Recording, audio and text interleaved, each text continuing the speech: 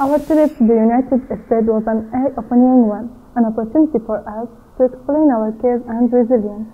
Afghan girls, like all girls in the world, can do things and make a difference. We are so committed to our work after the trip. I thank all people who helped make this happen, from White House to the State Department, Congress, media activists, and most important, other robotic teams such as Potomac School and Virginia for their participation. Thank you everybody. Thank you everybody.